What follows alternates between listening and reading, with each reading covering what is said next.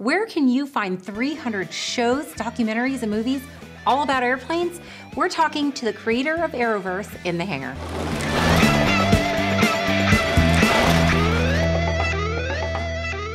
Welcome to In the Hangar. I'm Christy Wong. And I'm Dan Millican. In the Hangar is brought to you by our great sponsors like 67 Designs that make the best camera, cell phone, and tablet mounts for your airplane or your boat or car. More on them at the end. We're here to talk about this really cool app. It's yeah, it's called it's called Aeroverse. Aeroverse, yes. Yes, and we've got the creator and the the guy that's making it happen here. We got Charles. Charles, thanks for coming on the no show. No problem. Thank you, thanks, Charles. Nice to see you, Chris. And we've got Nathan Fletcher. Nathan, I, have met you before. I, just, I know you a little bit. yeah, I've worked with Nathan for well over 15 years. Oh wow! So, okay. Yeah. So okay. we go we go way so back. we'll talk later yeah, about. Well, okay, yeah, got I've it. Got some good stories about Dan. Perfect. Yes. All right. So so uh, let, let's talk first of all. What is this new network, Nathan? Well, Aeroverse is a streaming app. So okay. um, think of it as Netflix, but for airplanes in space. I'm sold. So, Where do I sign up? Aeroverse.com. Um, so, yeah, so, you know, it's uh, commercial free for a subscription, um, and you get to watch all the documentaries and TV shows you want.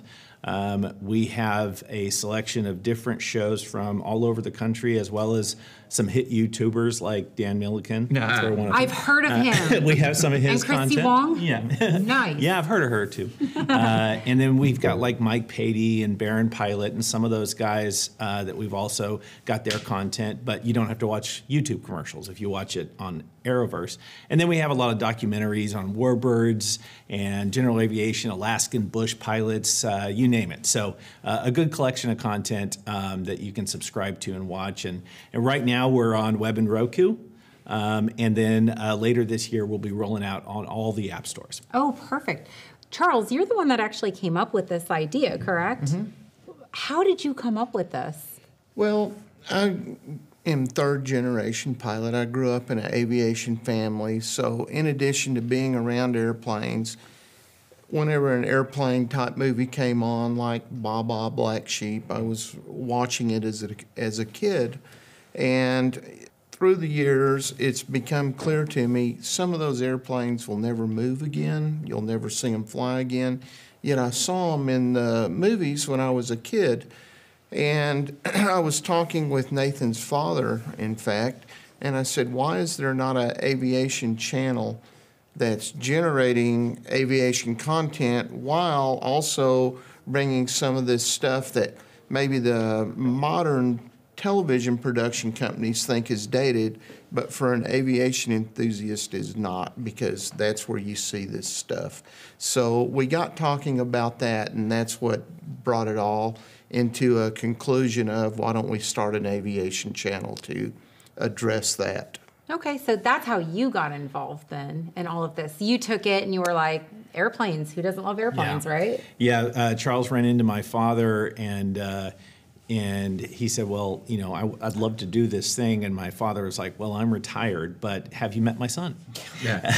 and so that's how I got involved in it. Okay. Because you've been, you've you've done network running networks. Yeah, my, my background's in uh, video and film production. I've been doing this for since I was 16, so I know TV production. I'm not an aviation guy, not an aerospace guy. I'm a TV guy. Um, in the last 10 years or so has well, been, we'll forgive you. Yeah, thank you. Appreciate that. Although you're a TV guy, so you really share some both. of the blame. Yeah. So, uh, but I've been doing that for about uh, last 10 years. Has been cable TV. Worked for uh, Ride TV, a cable network, and then uh, Great American Family, another cable network. And uh, along the way, launched a couple streaming services like Ride TV Go, Great American Adventures, things like that. Um, so when this opportunity was presented to me, man, it just made a lot of sense. Um, you know, I did a lot of research on the aviation aerospace community because I'm not from there. Um, and it's such a passionate group of people yeah. um, that you know, they, and they're not getting served, right? They're not getting served factual content about their world. Um, and there are a lot of specialty streamers, um, which is what we call Aeroverse, uh, that you haven't heard of, like Gaia and Shudder and Curiosity Stream, Nebula TV, all these different kind of specialty streamers um, that aren't trying to be a Netflix or a Hulu or Paramount Plus, right? They're just serving a certain community. Uh, and that's what we want to do for the aviation community. Sounds great. Can we talk a little bit about some of the content that's on there now and then what's going to come up here in the future of Aeroverse? Yeah, sure. Um, you know, right now, like uh, some of our shows, Alaskan Bush Pilots, that's one that's uh, fairly popular. Um, and as well as we've got some original series, uh, Throttle Jockey, hosted by Chelsea Smith. And uh, that's really interesting. The first episode is on crop dusters that we shot here in Texas. Um, and, you know, Charles is very passionate about all kinds of aviation and and in fact maybe Charles you could talk a little bit about throttle jockey and what you wanted to cover with that Sure. Throttle Jockey, um, everybody knows the commercial jets out at DFW, and their vision of co- aviation is a flight school to get to fly the jet at DFW. And that's kind of just the short connect the two dots. When you hear of a, of a working pilot, you think airline pilot. Correct. And the reality is, aviation is very deep in what society needs and delivers. In other words, aviation delivers a lot to society. And it's on some things that you normally wouldn't see. And, you know, our crops are dependent on the crop dusters. Uh, our police force is dependent on the helicopters. The hospitals are dependent on the care flight for the very urgent um, patients. The oil field is dependent on the helicopters that serve the Gulf out on the oil platforms. And, uh, you know, I come from the cargo industry, yet the I flew for FedEx. Well, that was in the large jets. The reality is there's even more small single and twin engine airplanes that fly out to these small communities that would not have a quick way to ship and receive things without these smaller airplanes that fly every night. And those are very interesting to look at. And then there's some kind of entertainment value type flying jobs that I'll, I'll say, like banner towing, Air show. air shows, uh, scenic rides like over the Hoover yeah, Dam, tourist, uh, tourist type things. So the thing is, as you start to dig into it, there's it, it's deeper and deeper than you think. And and I've only mentioned a few. I could go on if I had to dig hard. And what we wanted to do with Throttle Jockey was go out and cover some of those and bring it to the forefront at Aeroverse so that people could see what these other flying jobs are like. And, and I'm going to throw one more out. Tremendous amount of pilots started out doing pipeline patrol mm-hmm. here in Texas for the pipelines in the oil field looking for leaks. Something very few people are aware that goes on, yet, yet it's a very large job and operation. Yeah. Yep. Now, you guys launched the app on a very special date. Yes. Well, you know, we had originally talked about launching it in January of this year, 2024. Um, but then I was looking at the calendar and I came across December 17th as being the 120th year anniversary of the Wright brothers' first flight. And so I told Charles, I was like, if we can move the launch date up, it'd be really symbolic to launch on that date. And so we were able to do it. He's like, it's a great idea, let's do it. So we we really hustled to get everything launched. So we launched on the on the web platform on December 17th. So that'll be our anniversary every year. So no, we're I love that. I, I thought that was so cool. Now, it's, Yeah, because actually you didn't know about Aeroverse. I remember Colin telling you about it, and I said, by the way, it'll go on December 17th. What I love about you, Christy, is you lit up right away. You knew you knew the significance of that date. I did. I was like, "Oh, that's really cool," and he was like, "Yeah, that was by design." Okay, well, now we now I know we're working with a good team here. you know? Yeah, exactly. Um, how, so it's been a couple of months now that it's been out. So far, how has Aeroverse uh, been received by the aviation community? Uh, it's it's been phenomenal. You know, the the aviation community is so um, you know passionate about what you guys do, and it's really been impressive to me. Um, you know, Makes you want to fly, doesn't it? It, it does. It does absolutely. We're infecting working on it. the Yes, minds yes. one at a First time. hit is free, by the way. yeah. and you know, part of where we feel like there's a lot of opportunity though is, you know, is attracting new people to aviation. So, you know, it's not just about serving people that already fly or work in aviation, but the, I think the even bigger market uh, is to attract the younger generation and get them excited about aviation. The aviation enthusiast, or- or the, somebody who might just the, the the person like Charles, who's a kid and watching Blah Blah Black Sheep. Right. Yep, absolutely. Yep.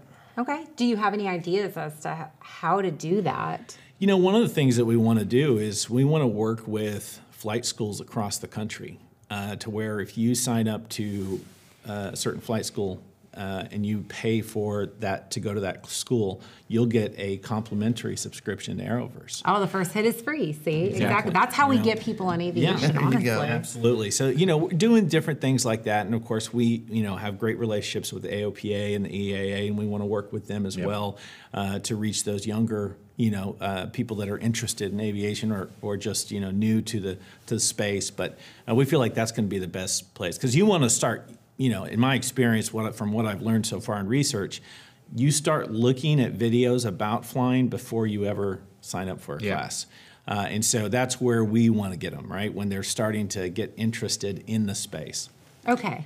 So Charles, what getting to know you, what I really like is that uh, most pilots, most aviation enthusiasts, find one area that they really like.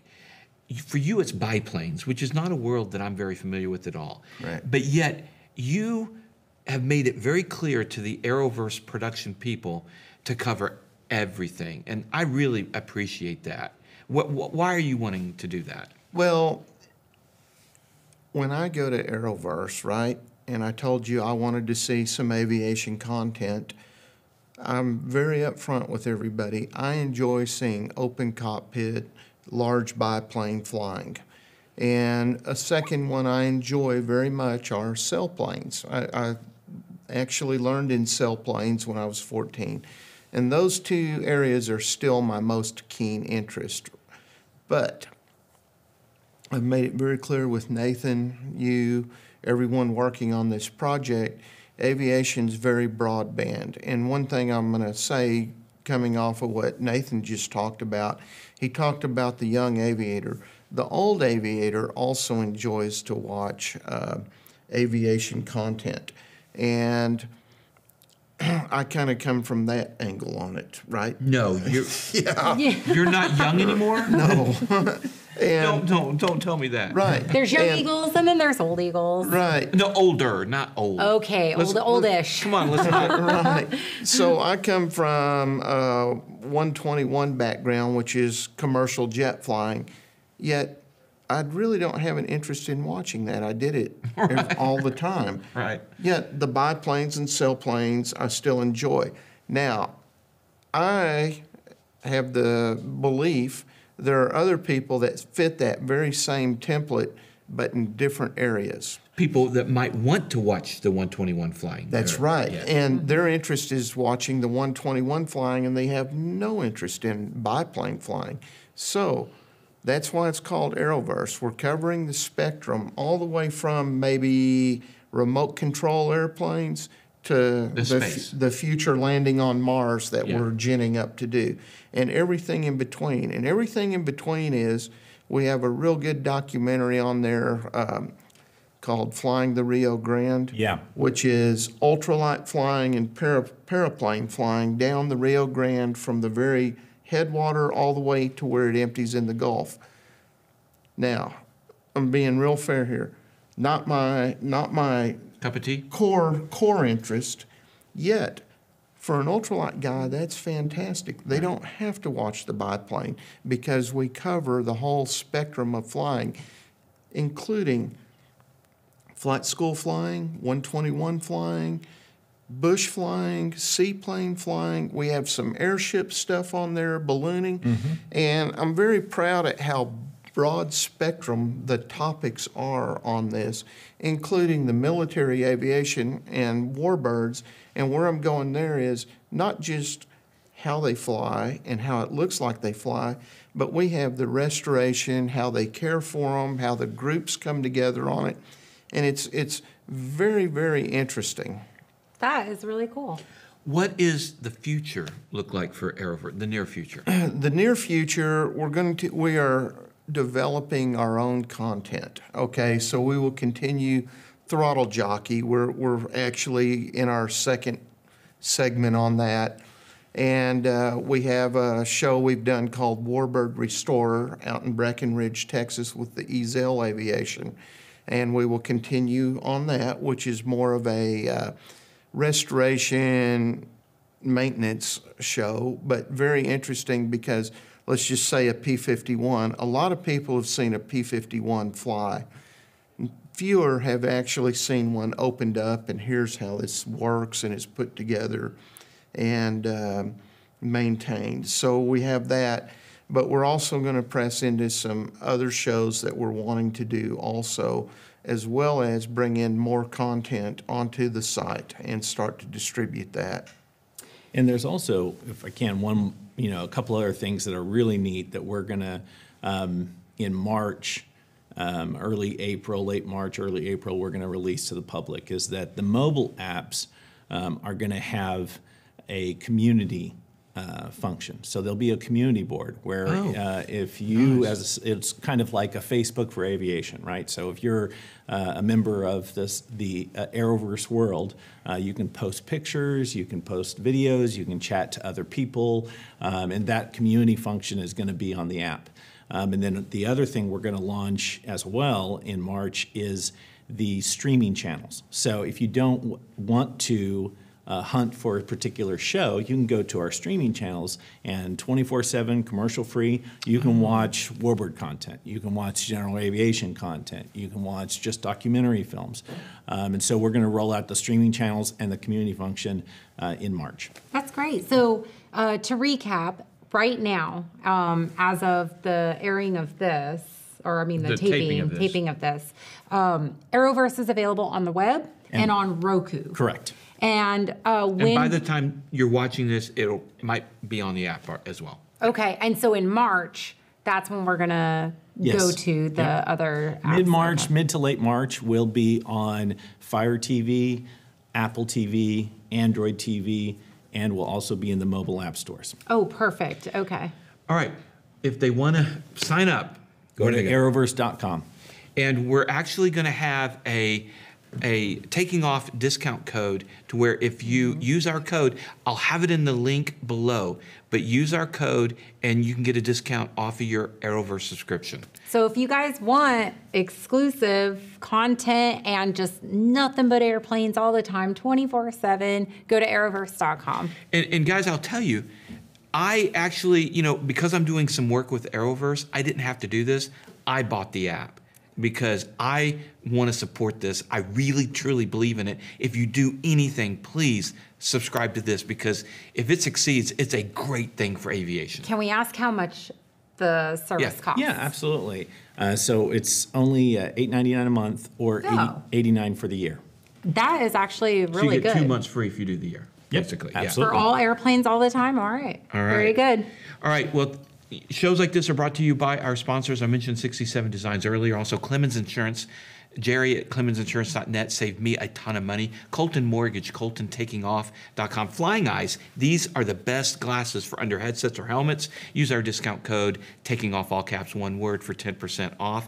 XeVision, the brightest landing and taxi lights out there. Marshal Protective Services. And Services. Marshal Protection Services, actually in our audience, is the owner, and mpsprotects.com. And by the way, one thing you don't have to listen to me and Christy do this is if you go to Aeroverse and subscribe, it's sponsor free, ad free. So just want you to know that. Supporting our sponsors really does help support us. We'd like to thank you guys as well for helping support us.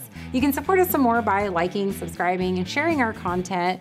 And in the meantime, fly safe. We'll see you all next time. In the hangar.